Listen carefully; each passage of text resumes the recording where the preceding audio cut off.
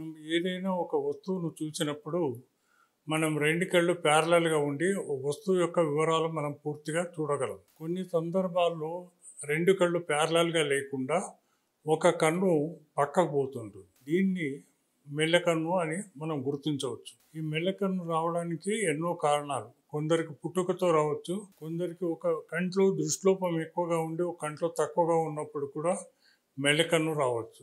మెల్లకన్ను రావడానికి ఒక్కొక్క మాట ఏంటంటే మనకు కారణాలు కూడా తెలియకపోవచ్చు. కానీ మనకు పరీక్ష చేసినప్పుడు మాత్రం రెండు కళ్ళు ప్యారలల్గా లేవని తెలుస్తుంటుంది. ఈ మెల్లకను సవరించడానికి మనకు ఎన్నో మార్గాలు ఉన్నాయి. ముఖ్యంగా ఎక్కువ మందికి మెల్లకన్ను ఉన్నప్పుడు మనం దృష్టి లోపాలు పరీక్ష చేస్తే వాళ్ళకు దృష్టి లోపాలు ఉంటాయి. ఈ దృష్టి లోపాలు ఉన్నవారికి మాత్రం మనము కంటి అద్దములు ఇచ్చి ఈ మెల్లకన్నును పూర్తిగా సవరించే అవకాశం ఉంటుంది. ఇట్లాంటి మె మెల్లికను చిన్నపిల్లలు స్కూల్కు వెళ్ళే విద్యార్థుల్లో ఎక్కువగా ఉంటుంది.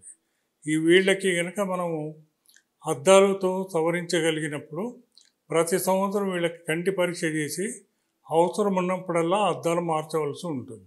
రెండవ రకం వాళ్ళకి మనం కంట్లో కొన్ని చుక్కల మందు వాడటం వల్ల కూడా మనం మెల్లికను సవరించడానికి అవకాశం ఉంటుంది. పని చేయనప్పుడు ఈ రెండు పని చేయనప్పుడు మనం మెల్లెకన్ను ఎక్కువగా ఉన్నప్పుడు సరి చేయవలసి ఉంటుంది సరి చేయటం అంటే వాళ్ళకి ఆపరేషన్ ద్వారా మెల్లెకన్నును సవరించవచ్చు.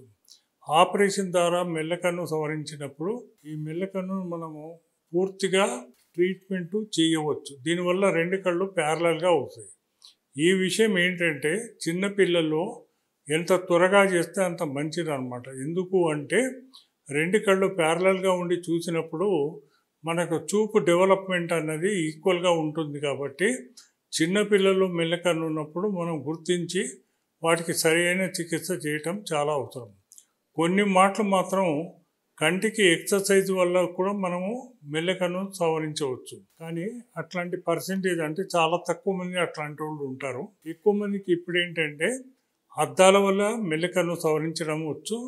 రెండవ రకము వాళ్ళకి ఆపరేషన్ చేయటం ద్వారా సవరించవచ్చు. అయితే పెద్దవారికి ముఖ్యంగా వాళ్ళకి మధుమేహం ఉన్నప్పుడు నర్వ్స్ దెబ్బతిని కూడా వాళ్ళకు మెల్లకన్ను వస్తుంటుంది. అట్లాంటి వాళ్ళకి ఏంటంటే ఏదైనా ఒక వస్తువు చూసినప్పుడు ఒకటికి బదులుగా రెండు అట్లా కనపడటం జరుగుతుంది.